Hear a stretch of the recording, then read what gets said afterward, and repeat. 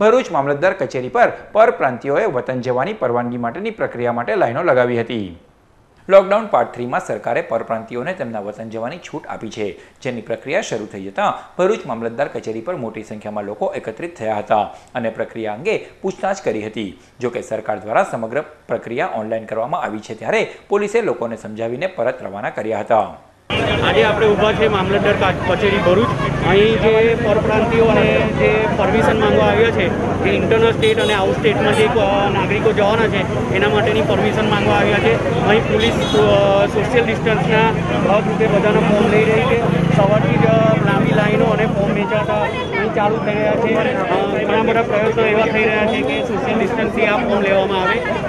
અહીં યુપી, બિહાર પશ્ચિમ બંગાળ અને સરકારો એમના કેટલા નાગરિકો અહીં ફસાયેલા છે, એની, એના પ્રમાણે લિસ્ટ બનાવી, એમનું લિસ્ટ અહીં એકત્ર કરી અને બસો કે ટ્રેનોની વ્યવસ્થા કરવાની